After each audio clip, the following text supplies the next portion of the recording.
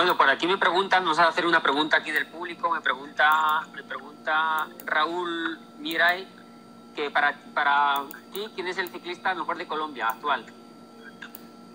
Eh, para mí, Egan Bernal. Eh, sin descontar eh, también, pues, de desconocer a Nairo Quintana, que es un corredor que ha mostrado mucha potencia, mucho talento. está Superman López, Higuita, en fin, pero para mí, para mí personalmente, respetando los demás criterios, se llama Egan Bernal. Sí, estoy de acuerdo contigo. Hay mucha calidad, la verdad que hay muchos muy buenos, la verdad que es de, admirar los campeones que hay en Colombia, pero, pero Egan creo que ese tour eh, lo marca mucho. ¿Cuál, con, qué bicicleta ganaste el mundial? ¿Qué marca de bicicleta ganaste el mundial? Eh, eh, esa era la multiplicación que teníamos en ese entonces. Y adelante teníamos 46, 50, entonces no tenía que subir en 46, 24, subiendo. Es muy duro.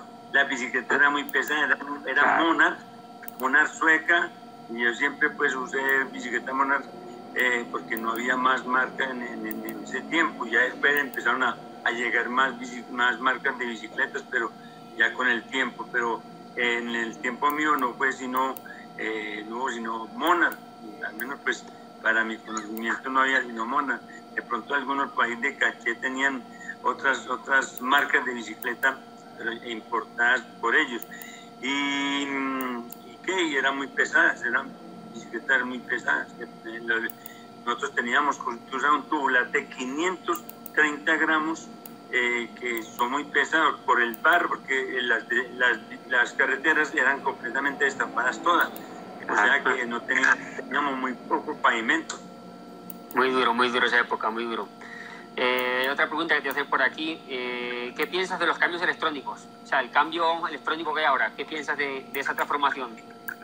No, es, es, una, es una, una, una, tecnología novedosa que en realidad, pues, como todo lo, lo, novedoso, pues, es bueno, pero eh, a mí me parece que están, han, fallado, han fallado mucho, muchos corredores con ese cambio, porque de pronto, no sé, se, se se descarga la, la batería y entonces eh, quedan muy, muy, y quedan muy embalados pero indudablemente es una novedad y todos los inventos son eh, pues, para utilizarlos, pero a mí me parece que eh, eso está todavía, falta más tecnología porque están fallando Qué bueno, qué bueno. Bueno, otra cosa de tu carrera, ¿quién fue tu técnico? Tu técnico deportivo, ¿quién fue tu técnico? muy pocos en ese tiempo no, no, no había, era prácticamente lo, lo, que uno, lo que uno eh, se rebuscara, porque lo que uno pensaba, pues, uno tenía su, su, su, modo de correr, su táctica, porque los entrenadores eran empíricos, no habían eh, entrenadores que hubieran hecho, por ejemplo, carrera o cursos, alguna así, eh, para, para tener conocimiento. no, aquí hubo eh, entrenadores como Julio Rastilla, como eh, Pintasea, mm, o Tálvaro, ¿quién? Así, a mí están sapeando. Sí, entrenadores, pero, pero no eran, eran, eran eh, de pronto fueron corredores como Otálvaro. Eh, yo también tuve a, José Bellaer, fue también entrenador. Vino un entrenador en, la pista, Walter Digelman, que era suizo, eh, y hasta que llegó Claudio Costa, que Claudio Costa sí tenía un poquito más de conocimiento, porque él tenía otros dos hermanos que eran eh, buenos entrenadores en Italia, eh, Guido Costa y Piero, y este llamaba Claudio, el, el que estaba en Colombia. Entonces eh, tenía un poco más de conocimiento. Con él, con, con Claudio, fue que conseguí los títulos el, del récord, el, Mundial de, de Qué buenas historias, qué buenas. Eh, te quería, bueno, yo creo que ya eh, te vamos a, a, dejar descansar, pero quiero que nos cuentes también un poquito antes, eh, digamos ya, tu carrera deportiva, has resumido un poquito, obviamente tienes muchas más batallas, pero un poquito. Ahora cuéntanos, después de la carrera deportiva, lo que haces hoy en día.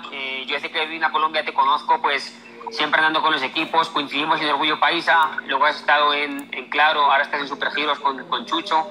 Cuéntanos un poco la labor que haces, eh, la chispa que le metes a los ciclistas, a la afición, la verdad que da gusto verte, cuéntanos un poco esa, ese cambio de, de vida. En realidad, pues primero que todo felicitarte a ti como una gran persona, un gran corredor, un gran compañero. Cuando tú entraste al Orgullo País, eh, yo dije, ve que leía Chucho, ese es el hombre que necesita eh, el equipo. Y en realidad no, no, no, no, no está equivocado. Y después que te saliste, dejaron salir un corredor como eh, Oscar Sevilla de ese equipo. Eso sí fue un error y fue un error grande.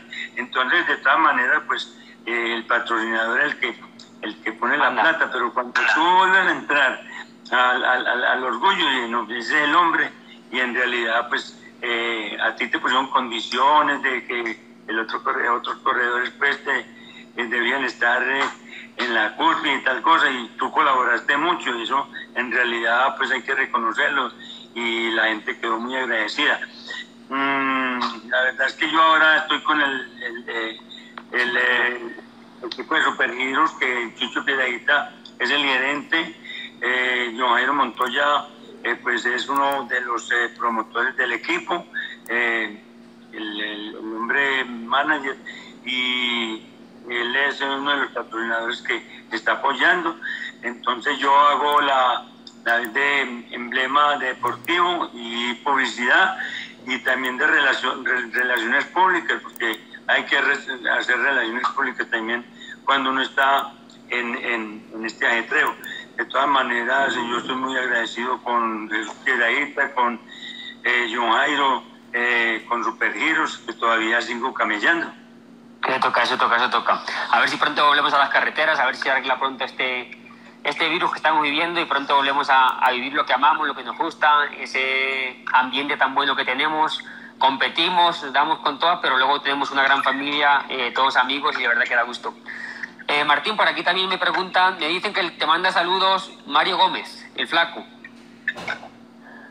bueno, un saludo a Mario, eh, saludos cordiales y no, que recemos mucho. Yo me levanto, pues me despierto al tipo cinco y media, eh, ponemos un poquito de, noticias y a las seis y media en Televid eh, está el Santo Rosario, a las seis y media nos ponemos a rezar mi señor y yo el Santo Rosario pidiéndole a, Dios Todopoderoso que pase esta pandemia, eh, que haya tranquilidad, que volvamos otra vez a la eh, a la gente que se encomiende mucho a Dios, que tengamos fe, que en realidad pues uno sin fe no puede ir a ninguna parte y no tengamos ese clamor por Dios, eh, por eh, nuestro Señor, que siempre Él nos ha cobijado. Yo tengo que agradecerle mucho a Dios por todo lo que me ha brindado, porque en realidad yo tenía accidentes fatales, casi fatal. Eh, una vez me, me caí de la bicicleta entrenando, me di en el cerebro, quedé tres días en coma y casi me voy de cajón, de pijama de madera. O sea que no me tocaba, era, no era el día. Entonces me, me salté y eh, por ahí de pronto me, he dado otros golpes, pero ese fue el más, el más, eh, digamos, y el más duro, el más, eh, el más peligroso, porque tres días en coma que no sabía si, si me paraba o no me paraba. Entonces, gracias a Dios, salí de allá para hacer, ser concejal y, y seguir montando en bicicleta. Qué bueno. Eh, otra pregunta, ¿tu patrocinador quién fue tu, tu sponsor? ¿Tu patrocinador quién fue? Patrocinador. El patrocinador fue siempre Wrangler Caribú, aquí en Colombia. Siempre me ganaba muy poco, pero, pero era siempre el que, el que colaboraba con eh, las, las eh, concentraciones, la Vuelta a Colombia, el, el auspicio, en fin. Y en Italia, pues, eh, no estuve sino en la, en la Bianchi los tres años, la Bianchi Campañola. Qué bueno, qué bueno. Otra cosa que te quería preguntar, eres un, yo sé que te conozco, sé que eres admirado por toda la gente, que toda la gente te admira, ciclistas, público, afición. Tengo eh, muchos recuerdos de momentos de que hemos ido a correr, yo corriendo como ciclista, tú como siempre estando ahí con los equipos, ayudando, aportando y siempre veo que la gente te quiere mucho donde vas, ¿no? Cualquier pueblo, cualquier ciudad,